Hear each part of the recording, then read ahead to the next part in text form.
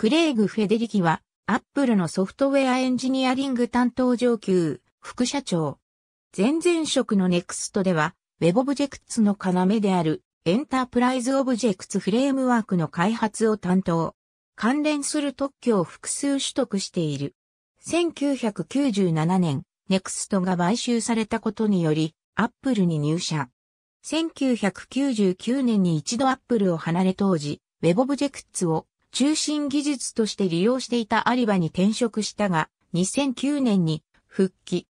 2011年3月23日、アップルを離れたバートランド・サーレイの後任として MacOS X ライオンから MacOS X 開発責任者となった。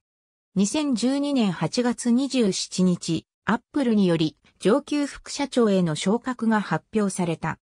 2012年10月29日、スコット・フォーストール iOS 担当上級副社長の退任に伴い、OS 10だけでなく iOS の開発担当も兼ねることとなった。 Object graph editing context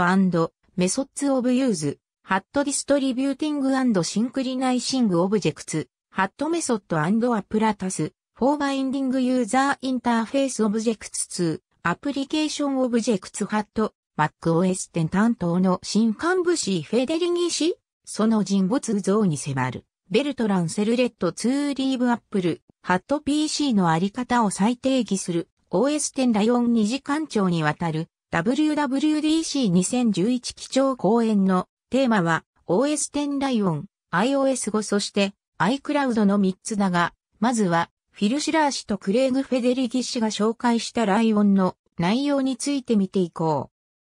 Craig Federighi, Apple's Vice President of Mac Software Engineering, and Dan Riccio, Apple's Vice President of Hardware Engineering, join Apple's executive team as senior vice presidents、ハットアップル、ハードウェア、ソフトウェア、サービス間の協力を推進するための組織変更。を、発表ジョニー・アイブ、ボブ・マンスフィールド、エディキュー、クレイグ・フェデリギの担当範囲を拡大。ありがとうございます。